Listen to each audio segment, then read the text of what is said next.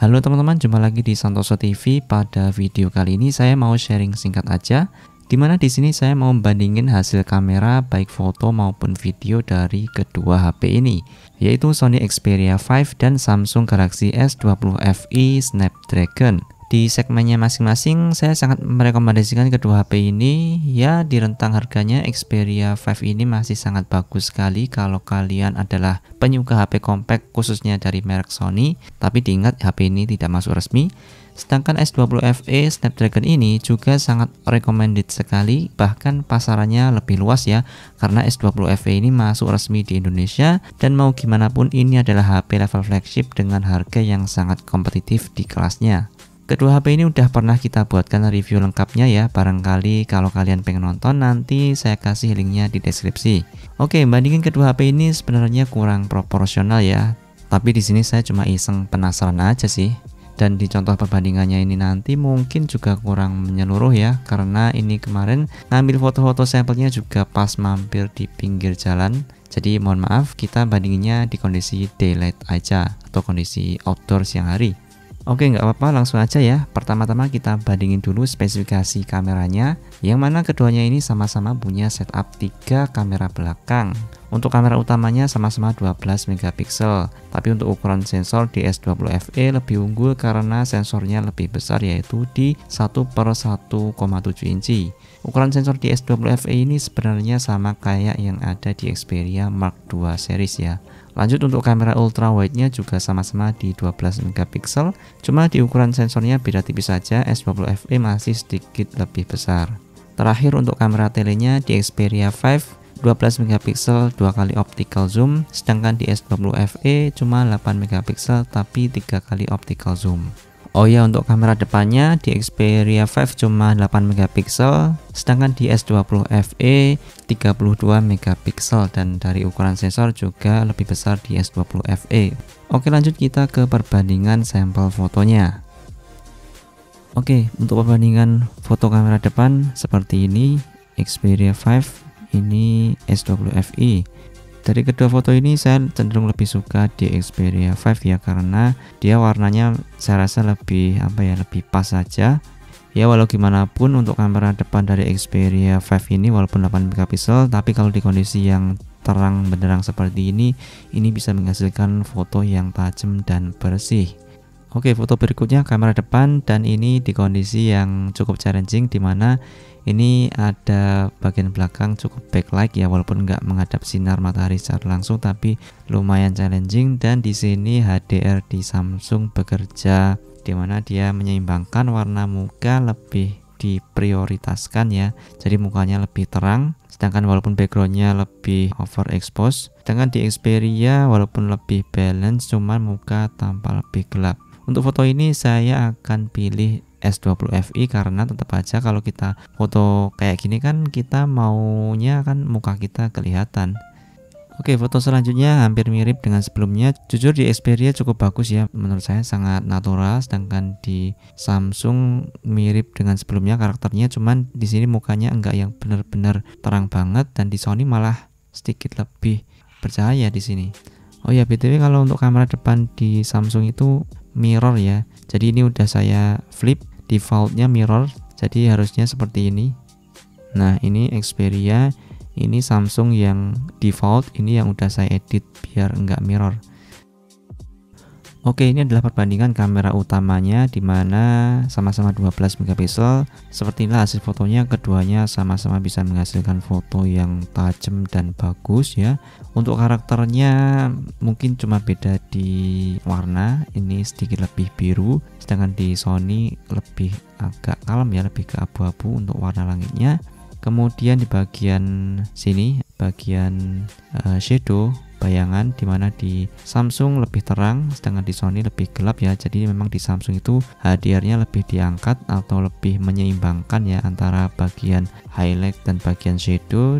Dan juga di sini highlightnya juga di Sony tampaknya pencahayaannya berasa lebih kalem ya lebih redup aja cuman kayaknya sih seingat saya fotonya itu sedikit lebih mendekati ini untuk sisi naturalnya ya. Di Samsung berasa di boost saja lebih dipoles ya dipercantik gitulah. Cuman nggak yang terlalu banyak dan masih kelihatan natural nggak yang lebay di Samsung ini.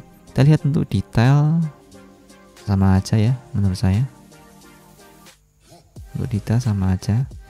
Sama-sama 12 megapiksel. Ya beda di warna sih karakter highlight dan shadow aja.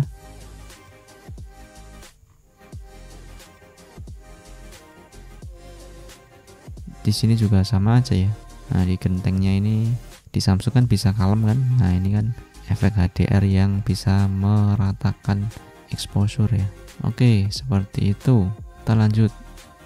Nah ini adalah kamera ultrawide nya ini sama-sama 12 megapiksel juga untuk karakternya masih sama ya kayak kamera utama tadi. Di Samsung sedikit lebih ngebus HDR ya lebih balance di mana di sini area shadow lebih diangkat sedangkan di Sony berasa lebih gelap. Cuman kalau dari sisi apa ya feel ya menurut saya karakter foto Sony itu terkadang walaupun kadang agak struggle atau kesulitan handle HDR yang kadang-kadang juga menyebalkan cuman terkadang itu bisa menggambarkan feeling kondisi aslinya ya. Jadi ya siang hari berasa kayak gini intinya bisa cenderung lebih natural gitu aja lah. Walaupun enggak yang 100% natural di sini sedikit catatan untuk warna di Samsung sedikit lebih pudar ya warnanya. Di Sony sedikit lebih pekat. Dan satu lagi nah di bagian sini di Samsung untuk ultrawide nya noise nya banyak. Di Sony cenderung lebih bersih, cuman sama-sama di sini masih ada chromatic aberration ya. Nah, di sini ada chromatic aberration efeknya. Sama di sini juga, cuman enggak setebal di Sony. Di Sony ketara banget ini. Oke, kurang lebih seperti itu untuk foto kamera ultrawide ya.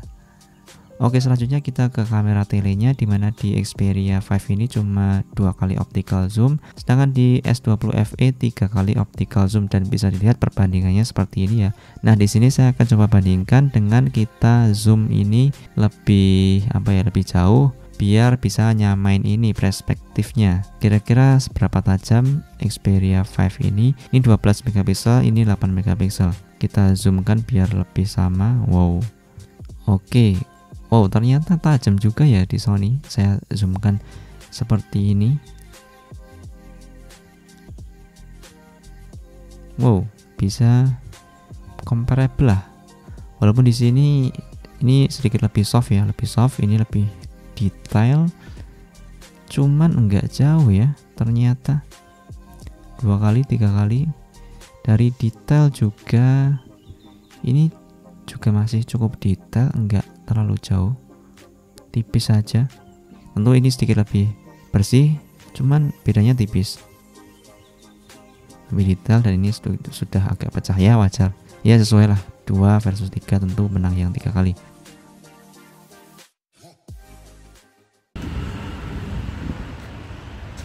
Full HD 30 fps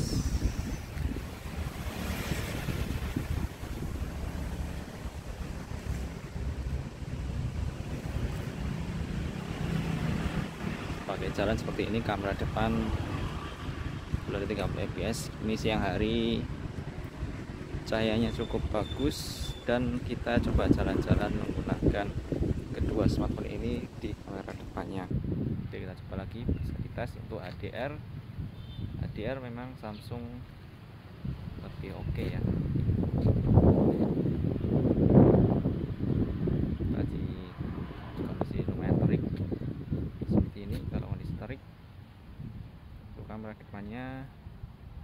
bisa dilihat ya Samsung memang lebih bagus untuk HDR kita sambil jalan lagi. Kita coba lari sedikit.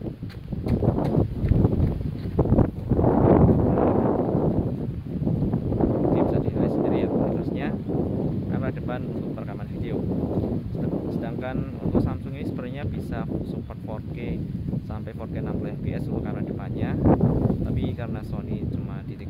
fps jadi kita tes di sama-sama 30 fps saja. Untuk detailnya untuk Samsung bisa dicek di video review detail mengenai S20 FE ini ya. Oke segitu.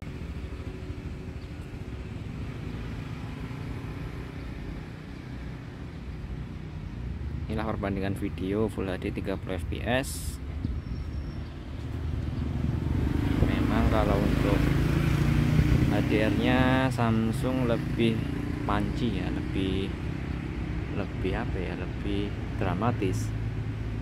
Cuman memang sedikit agak kurang natural di warnanya cuman harusnya di Sony juga enggak natural banget juga. Memang lebih natural cuman harusnya bisa lebih ngangkat lagi sih HDR nya ya ada plus minusnya masing-masing.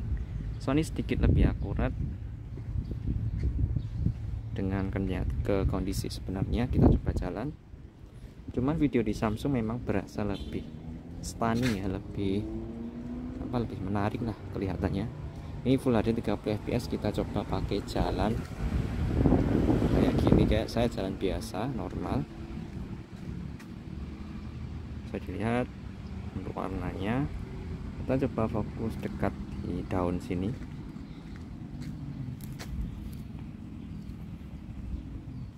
sama-sama bisa menghandle fokus dengan bagus.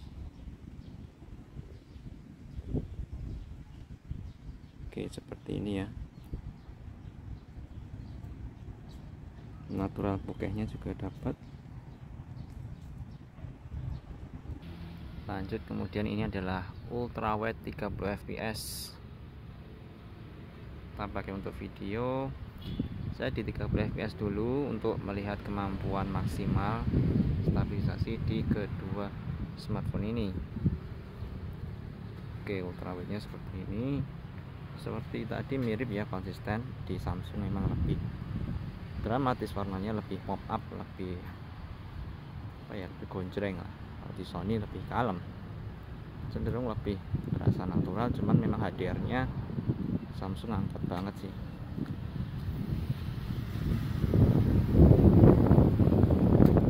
kayak gini ultrawide nya kita coba lagi fokus dekat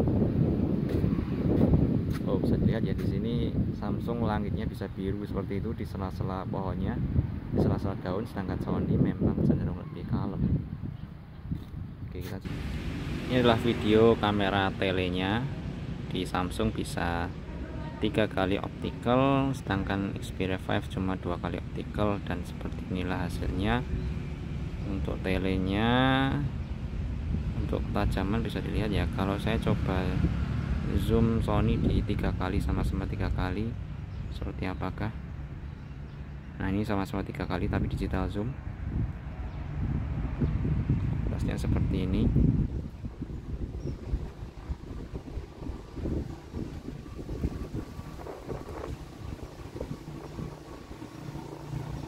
Kalau kita pakai sambil jalan apakah bagus?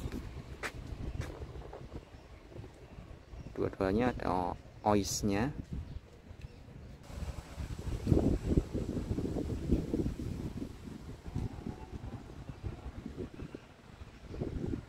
seperti ini kualitasnya. Wah, kita bisa fokus. Nampaknya.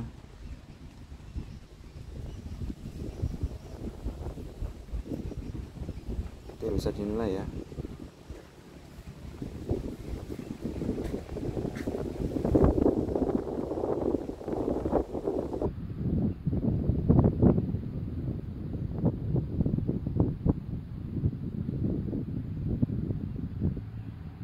sekali lagi dari warna memang Samsung 4K 30 fps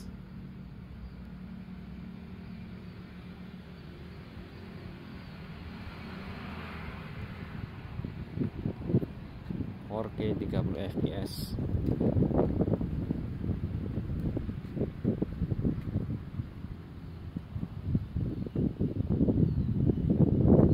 kamera utama.